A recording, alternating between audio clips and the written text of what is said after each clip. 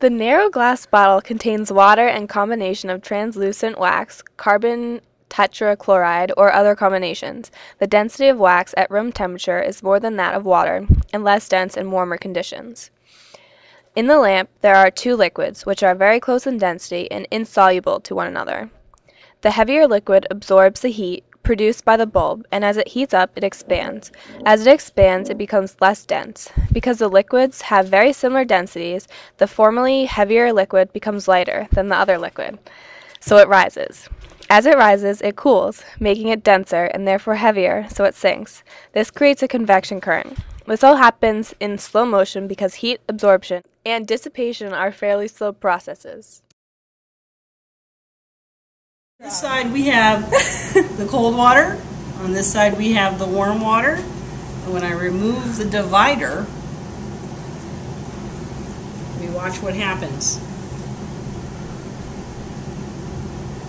Explain it. The convection current is transporting around the heat and the water is being separated by its density warmer water is going to end up on top, and the cooler water is going to end up on the bottom, similar to the ocean.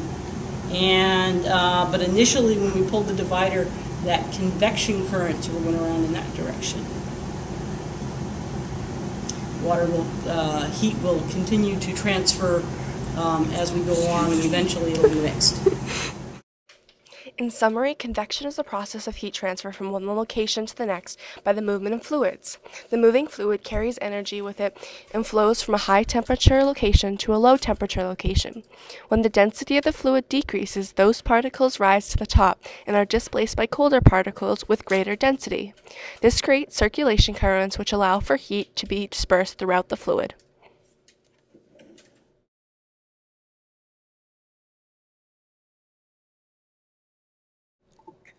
In this demo, a piece of copper is being heated. Shown is an infrared thermometer, which uses infrared waves to take the temperature of solids. At room temperature, the temperature of copper is 19 degrees Celsius.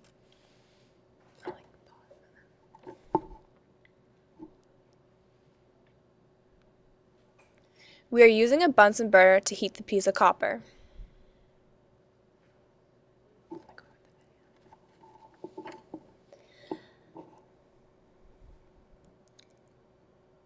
As the copper heats up, its particles are gaining kinetic energy.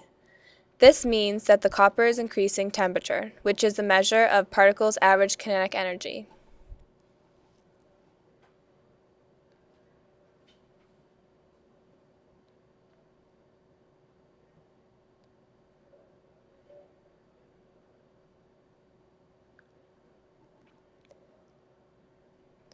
After the copper has been heated, the infrared thermometer measures 56 degrees Celsius. This 37 degree change happens in a very short time period because metal is a good conductor of heat.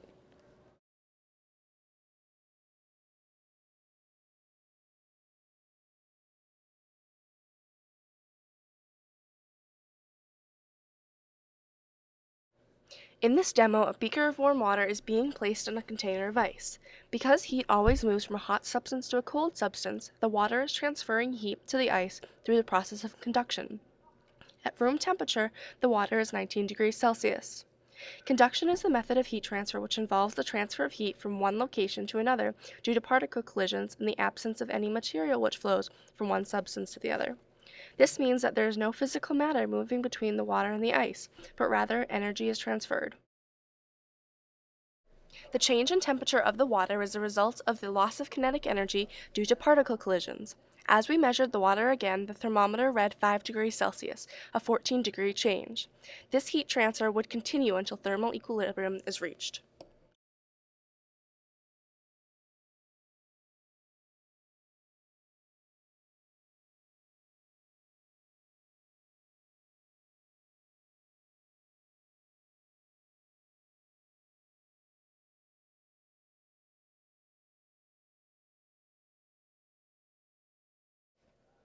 In this demo, a beaker filled with snow is being heated by a lamp that emits heat in the form of electromagnetic waves. Visible light and infrared waves are being emitted by the incandescent light bulb and are heating the snow. When the waves reach the snow, the particles in the snow gain kinetic energy. This causes an increase in temperature, shown by the change in phase. The snow is melting, going from a solid to a liquid.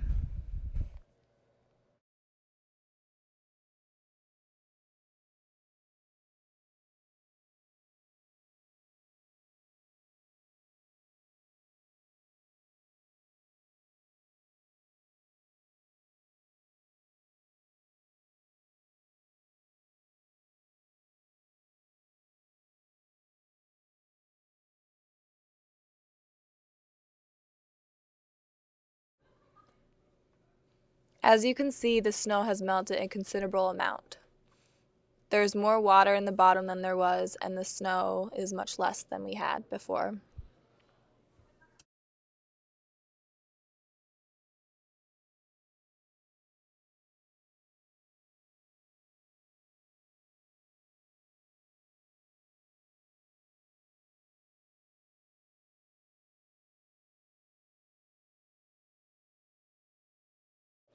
In this demo, a beaker is filled with black sand. The lamp is heating the sand by the radiation of visible light and infrared waves.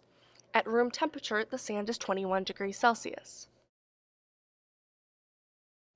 Through the process of radiation, energy is being carried by electromagnetic waves from the lamp to the space surrounding it, without the movement of matter. The hotter the, an object is, the more it radiates.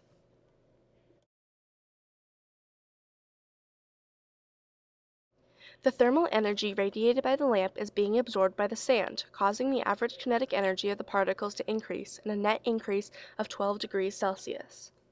The sand is noticeably warmer.